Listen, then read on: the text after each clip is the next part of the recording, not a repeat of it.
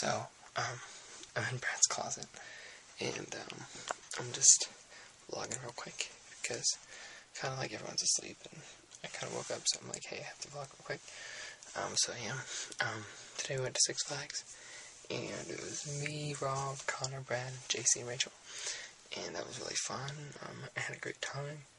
We rode almost every ride. Um, missed out a few good ones, but that's okay. Um, it was fun. Went in this really scary haunted house. It was kind of almost better than Netherworld. Um, it was pretty crazy, but yeah. So um, just um, vlog real quick, but yeah, just all hanging out, and then tomorrow we'll probably hang out some more. But I'm gonna go back to sleep. So I'll see you guys later. Have a good day.